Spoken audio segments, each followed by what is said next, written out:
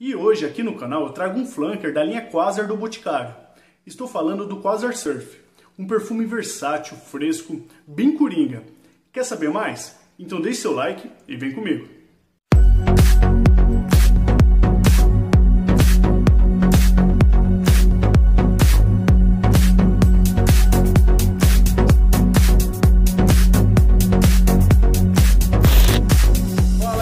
tudo beleza? Tudo bem com vocês? Espero que sim. Sejam muito bem-vindos ao canal Henrique Lima. E antes de começar o vídeo, eu quero fazer um convite a você que ainda não é inscrito aqui no canal, já para se inscrever, ativa as notificações, clicando no sininho aqui embaixo para ficar sempre por dentro de todas as novidades que eu postar aqui no canal e deixe seu like que ajuda muito no crescimento e no desenvolvimento desse vídeo. E claro, se vocês puderem, dá uma passadinha no meu Instagram, é henriquelima.oficial. Lá tem conteúdos novos, exclusivos como IGTV, fotos e vídeos de tudo que eu posto aqui no YouTube. E o perfume da resenha de hoje é um flanker da linha Quasar do Boticário. Eu fiz uma enquete lá no Instagram e ele ganhou, né? Então bora cumprir a promessa e resenhar ele aqui. O perfume que ganhou é o Quasar Surf.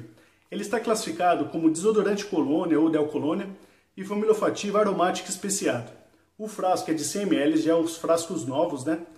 Antes era de 125, eu achava até mais bonito, mas esse daqui até que está mais moderno, né? É um azulado claro, parece um verde água mais ou menos, né? Escrito Quasar Surf aqui, a tampa embutida aqui em cima e dá para ver a volumetria aqui atrás. Aqui embaixo tem lote, data de validade, essas coisas, né? E o borrifador, ó, solta um jato bem denso, né? Espalha bem uma nuvem. O aroma já dá para sentir que é bem fresco. Ó, ele marca bem. Tem uma saída bem fresca mesmo, bem gélida na pele. E eu vou ler para vocês a pirâmide olfativa. Olha, de saída vem com bergamota, toranja, cardamomo, tangerina e abacaxi. De coração, gerânio e pimenta preta. E o fundo de almíscar, sândalo, cedro, jasmim manga e musgo de carvalho. Olha, a saída da fragrância é bem cítrica e frutada. Dá para sentir o abacaxi junto com a toranja, trazendo uma doçura, e a bergamota junto com a tangerina, né, completando esse combo cítrico bem gostoso e bem marcante. Na evolução, após alguns instantes, entra o frescor do cardamomo, que deixa a pele gelada, e a pimenta preta, que dá uma reforçada no frescor aí, uma, um combo bem fresco mesmo, bem gelado, e o gerânio dá uma complementada aí, deixando um ar metalizado nessa evolução. E o fundo para fechar, aqui temos uma base mais amadeirada, com cedro e musgo de carvalho. Entra aí também o sândalo e o jasmim manga, trazendo um, um floral macio, bem confortável, e o almíscar, né, que dá uma leve atalcada. Fragrância versátil, confortável, perfeito para o dia a dia. O verdadeiro coringa, ó, cai bem em qualquer ocasião, aguenta temperaturas bem altas aí, bem tórridas, e a vestimenta dá para usar casual, um polo, uma camiseta normal, aí regata, bermuda, chinelo, fica à vontade.